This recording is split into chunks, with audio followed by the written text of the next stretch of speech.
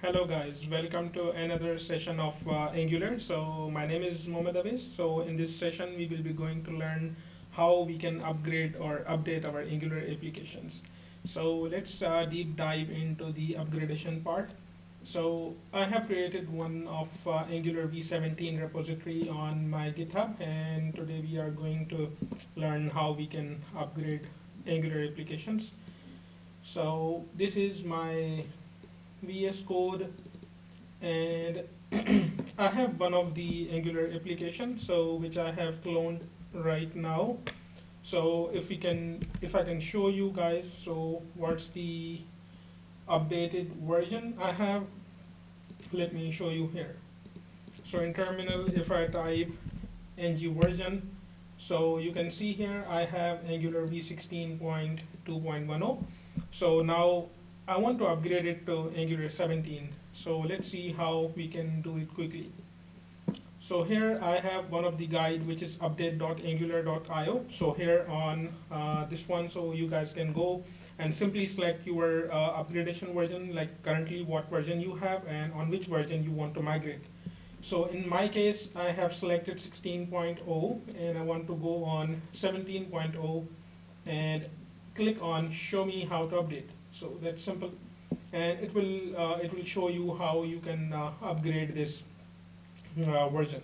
However, this is uh, this is the one case we can update it, and the other one is like simply when you do ng update here in your CLI, so it will take some of time and it will going to analyze uh, it, it, it will be going to analyze what dependencies you have and how you can simply migrate it.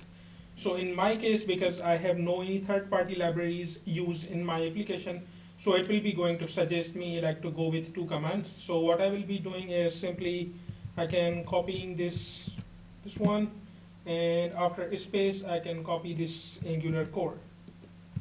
Right. So simply after pasting those here, so it will going to take some time, and it will upgrade my migrations, uh, up, up, update my migrations, and looking after the versions and dependencies which I have. So at the moment, I don't have any uh, crucial or very tightly coupled dependency used in my application because this is a brand new application I have created for learning Angular 17 stuff.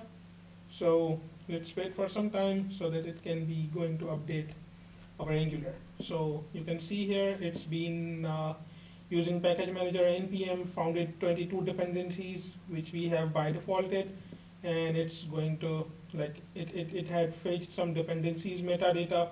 So it's upgraded angular forms platform everything.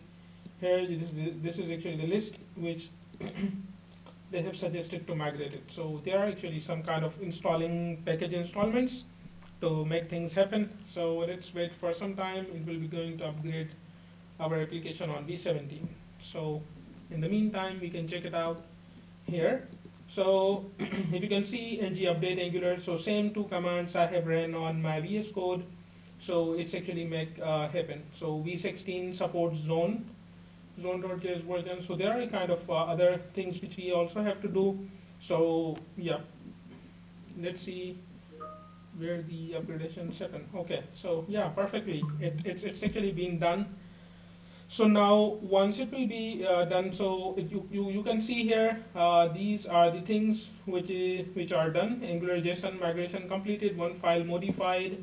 So inside Angular JSON, so you can see version updated, this. So these are the things which are updated with the aspects of Angular. Now let's go into the SRC because it says uh, we have a component HTML file also updated. So if you can go into the app, this is the HTML file, which is the vanilla file, which I can show you here. So, yep. And one other one is transfer state, and those states are migration completed, no changes made because we don't have any certain application. So rather than going into it, let's see in package.json file, so you can see it's been migrated on Angular v17 finally. So then uh, Angular CLI has been updated, all those stuffs. Let's check now ng version. So hopefully we will have all 17 updated with Zone.js of 14.2. TypeScript is also being updated with the respected version, which is compatible with Angular 17. So let's start and see. Hopefully it will be it will be going on a fastest pace. So Angular v17 comes with a lot of uh, bunch faster things. So you can see here it's building with wow 5727 milliseconds. Perfect. So let's go into the browser and hitting 4200. So I'm a big fan of Angular. So as Angular is my first love. Okay, so you can see Angular v17 app is running. Wow. So for next, uh, it's been done. We have migrated our application from 16 to 17, but consecutively, if you have a very high dependent applications, uh, which is using uh, third-party uh, third-party node package man uh, managers, third-party node package modules.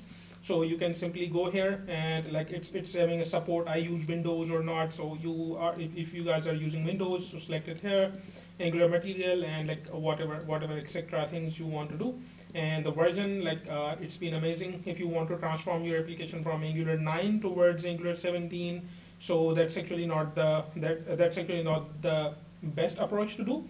So my suggestion for you guys, if you are migrating from very older version from Angular like 7, 10 or those kind of stuff, then you can do step by step because there are a lot of changes uh, till V17 made.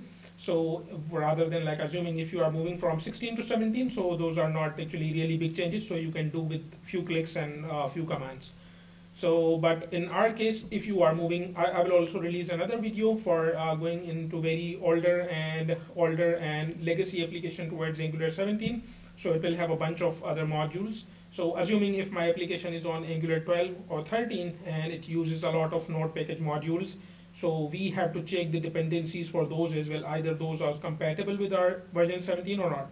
But my suggestion is going step by step like if you are migrating from 10 towards 17 then firstly go with 10 to 11 then 11 to 12 12 to 13 so this is actually the best approach which angular experts recommends so that's all about the upgradation of angular hope you guys uh, love this video and let's have a good day and we will be meeting ahead in the next video.